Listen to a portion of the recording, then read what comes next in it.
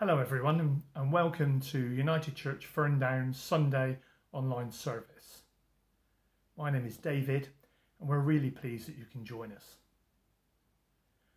Our minister, Bob, today is having a well earned rest, so later in the service, we will be listening to a talk by Joff Hunt, who's one of our Regional Baptist Association uh, ministers. He will be challenging, us to look to the future, and that's particularly pertinent for us as we prepare for Bob's retirement and then another new chapter in the life of our church here in Ferndown.